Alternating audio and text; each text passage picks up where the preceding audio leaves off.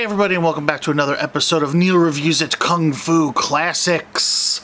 Please like, share, and subscribe to the channel if you have not already. It. What is it? It's the thing that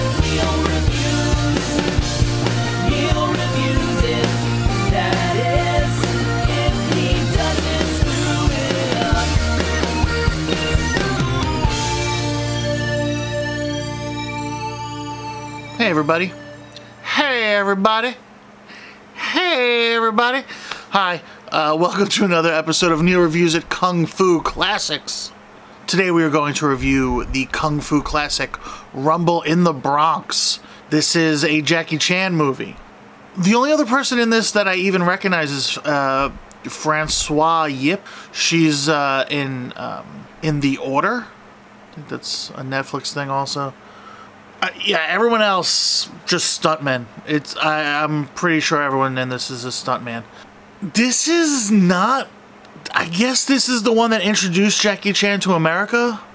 I guess it does a good job in doing that in the sense that like the stunts are incredible and it's so uh, it's so uh, parkour stunty found uh, using found things like oh there's a half a fence over there. I'm gonna pick it up and use it and then flip over it. And there's a there's a crib. I'm gonna jump in the crib and then kick through the things and then pop out of the crib like all that kind of stuff.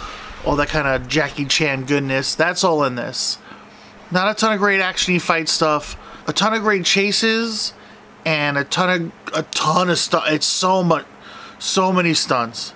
And then you know after the credits they show all the injuries and stuff it's very typical Jackie Chan what we know of Jackie Chan but um as far as like an American Jackie Chan movie like nothing really touches Rush Hour like that really is like primo Jackie Chan for America.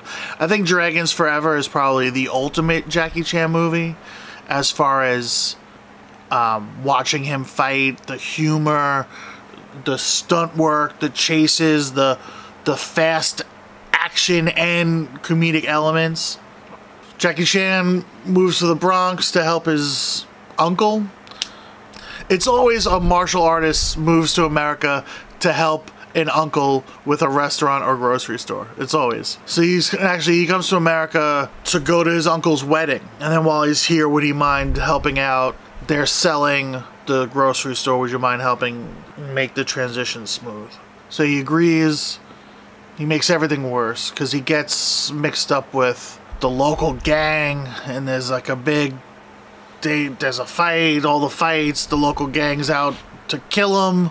Oh, real gangsters uh, have like a like a, a diamond heist in the background. Like the low level gang member, he he finds the diamonds and then he hides them in like Jackie Chan's building in the neighbor's wheelchair. You know, the things, all the things that come from that come from it. Yeah, it's great. It's fun. Like I said, not a lot of fights. There's fights, not a ton. It's a lot of chases. It's mostly chases and stunts. Oh, it's fun. It was real fun. Um, Ceramic Dragon for fun. And get a Skull Bobblehead for story. I know I'm usually lenient on the story with uh, these Kung Fu films, but this was a little more convoluted than it had to be. I'm gonna go Skull Bobblehead. And for fights, yeah, sorry, Jackie. I'm gonna go Skull Bobblehead on that too. It just there weren't enough, and then the ones that were weren't, you know, epic enough. It was a. All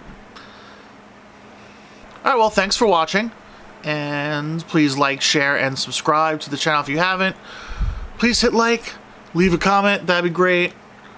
Uh, tell me what you do or don't like about uh, these reviews. Listen, just hit like. I appreciate that.